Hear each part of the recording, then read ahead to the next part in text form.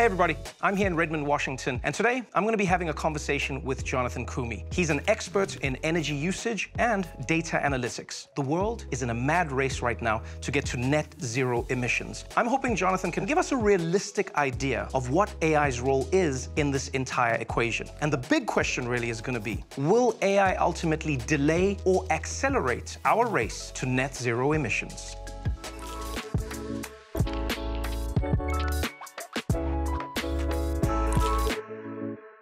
First and foremost, how bad is the rate of energy usage in terms of AI and data centers? Let's start with the basics. Computers use electricity. When you type in a search query or a prompt for a, an AI model, that query goes across the network to a big warehouse full of computers. Those computers use electricity, you need electricity to cool them, but they also provide benefit, and they help us do things more efficiently than we could otherwise a lot of the headlines really paint a terrifying picture in that the more of those queries we're sending, the more tasks we're using AI for, the more we're just heating the planet up. Is, is AI disproportionately using more energy or well, is it comparable? So I think people need to treat any of these claims with a grain of salt.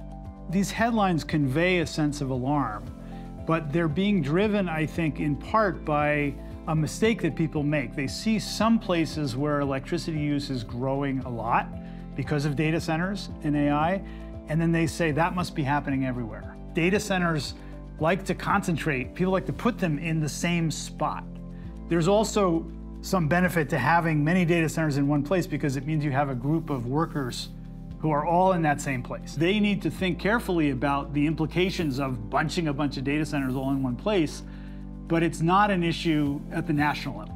It's not something right now that we're seeing. Computers as a whole use on the order of 5% of our electricity.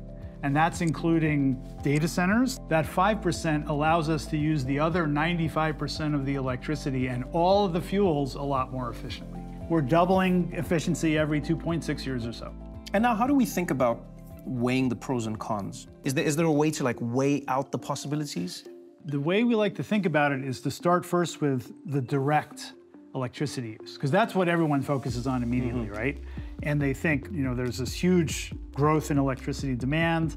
For that, you have to ask, compared to what? The International Energy Agency projects significant growth in electricity demand over the next seven or eight years, but most of it is electrification of vehicles, electrification of heat in buildings, electrification of industrial processes, and data centers are only a few percent of the projected growth. So this is a graph that has total electricity use on the y-axis here, and it shows for all of ChatGPT, for running the whole thing for a day. And then we compare to running all the televisions in the US for one day.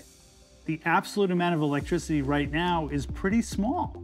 But I think people need to not jump to the immediate conclusion that data centers use electricity, therefore that's bad.